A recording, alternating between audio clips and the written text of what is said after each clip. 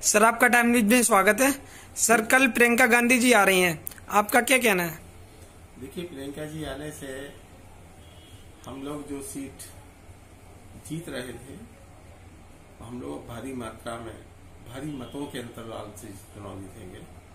झांसी नहीं, और उनके आने से मैं समझता हूँ जालौन, बांदा, हमीरपुर चारों सीटें पर प्रभाव पड़ेगा, और जीत का अंतराल और बड़ा बड़ा हो जाएगा। जीतने के बाद प्रत्याशी क्या करेगा? देखिए, यहाँ जो किसानों की समस्याएँ हैं, खासतौर से यहाँ अन्ना प्रथा की बहुत गंभीर समस्या है। उसको निपटाने का प्रयास किया जाएगा। नौजवानों को रोज़गार के लिए काम किया जाएगा। झांसी में पानी की समस्या है, उसको निस्तारित किया जाएगा। और यहाँ छोटे छोटे लघु उद्योग स्थापित हों, इसके लिए हमारे प्रत्याशी कटिबद्ध है और पूरा प्रयास इसी दिशाओं में हुआ किसान, नौजवान और मजदूरों का विकास हो और छोटे छोटे उद्योग हों जिससे लोग आत्मनिर्भर हो सकें। सर आप झांसी लोकसभा चुनाव में जनता के सामने क्या क्या मुद्दे रखेंगे?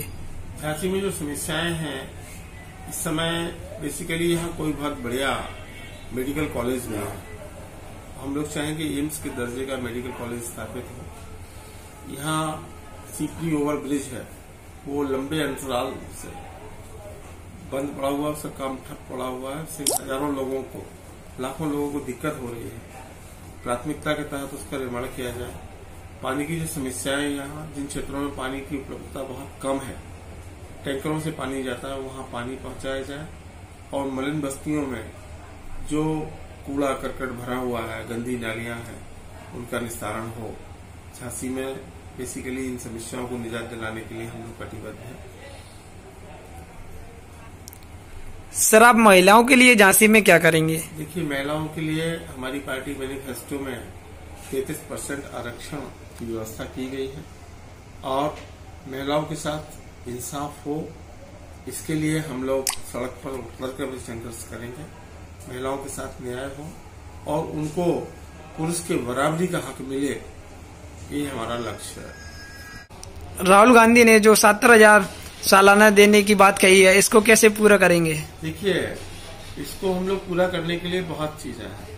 मोदी जी जिस तरह से विदेश यात्राओं पर खर्च करते हैं, अपने एडवर्टाइजमेंट पर खर्च कर रहे हैं, उनको कटेल करेंगे जो बड़े बड़े उद्योग धंधों को, उद्योगपतियों को, वो मदद कर रहे हैं, उनका उनका पैसा माफ़ कर रहे हैं।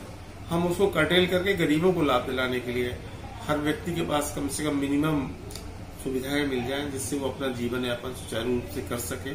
हम बड़े आदमियों के पैसे को कटेल करेंगे सरकारी खर्चे को कम करेंगे और इस दिशा में हम लोग काम करेंगे। किसानों के लिए पार्टी क्या करेगी? किसानों के लिए किसानों के लिए सरकार ने हमारी पार्टी ने ये तय किया कि हम सरकार में आएँगे तो अलग बजट निर्माण करेंगे किसानों के लिए। किसानों का कर्ज माफ़ किया जाएगा और किसानों को जो बेसिक नीड्स है उसकी उसको पूरा करने के लिए किसानों को स्वनिर्भर बनाने का हम लोग संकल्प ले रहे हैं।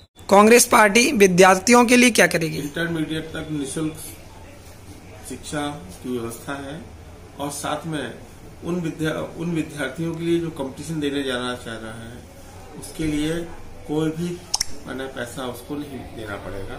कोई भी फार्म भरेगा तो उसको पैसा नहीं देना होगा।